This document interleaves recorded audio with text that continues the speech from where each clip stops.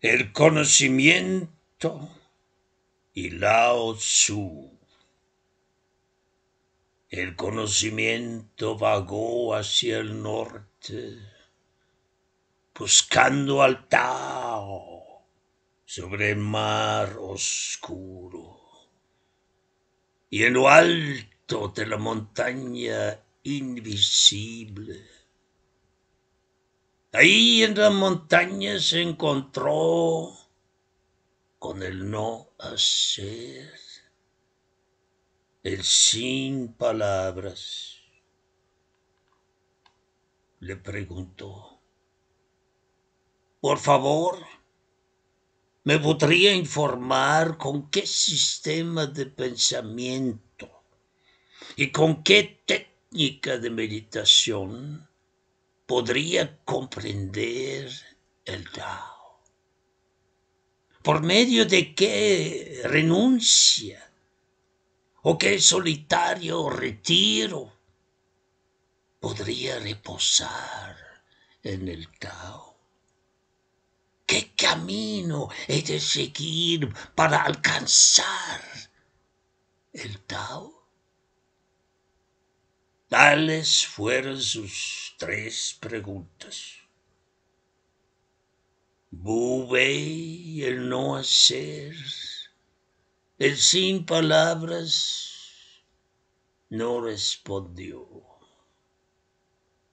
No solo por eso, ni siquiera sabía cómo responder.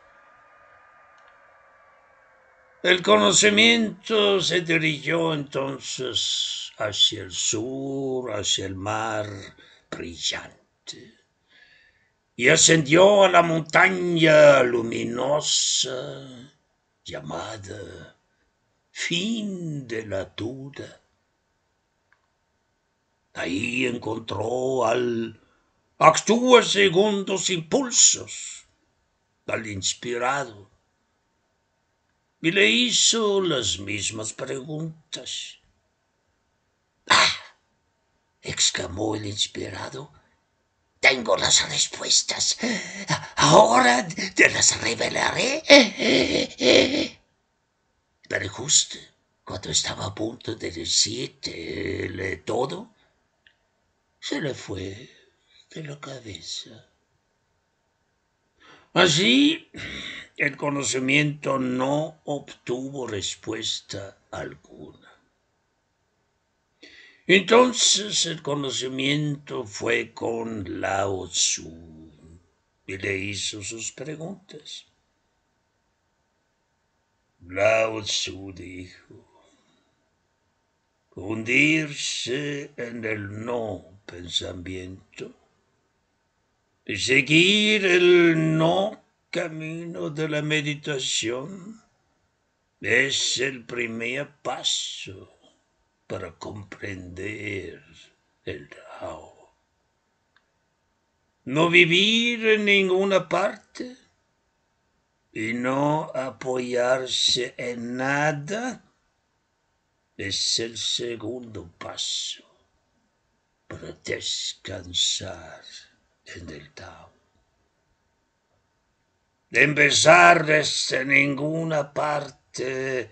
Y no seguir camino alguno, es el tercer paso para alcanzar el Tao. El conocimiento respondió, tú sabes esto, y ahora yo también lo sé. Pero los otros dos no lo sabían. ¿Quién está en lo cierto? Lao Tzu dijo, solo no hacer. El sin palabras estaba en lo cierto. Él no sabía. Actúa según tus impulsos el inspirado solo parecía estar en lo cierto, porque se le había olvidado. En cuanto a nosotros, no estamos ni siquiera cerca de la verdad, porque tenemos las respuestas. Porque aquel que sabe no habla. Aquel que habla no sabe. El hombre sabio instruye sin utilizar palabras. Esta historia llegó a los oídos de actúes y con tus impulsos y estuvo de acuerdo con la forma de plantearlo de la Tzu. Pero que se sepa, no hacer jamás oyó hablar sobre el asunto y por eso no hizo comentario alguno.